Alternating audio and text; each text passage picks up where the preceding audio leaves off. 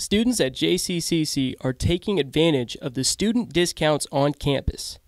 Here, JCCC student Elvis Lopez talks about how he used his discount for a day at Worlds of Fun.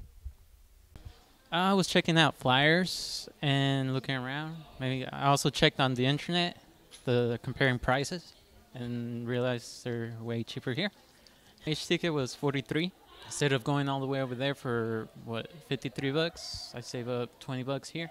And so I just decided to buy both two tickets right here and go tomorrow.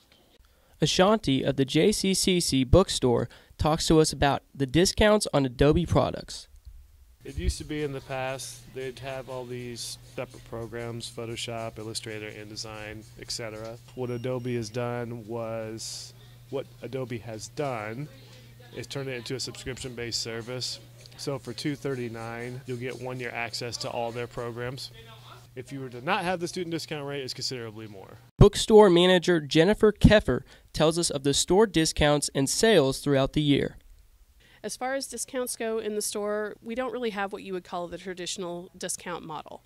In our technology area, we do have student pricing, which would match other places in the area like Best Buy and those types of things. So you are going to see a price that is comparable to other places that you would buy a computer at.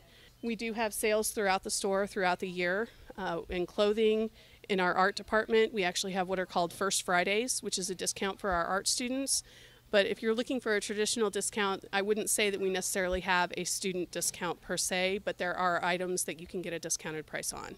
Well, that's a wrap on JCCC student discounts. I'm Sam Kombrink of ECAV Radio reporting for JCAV TV.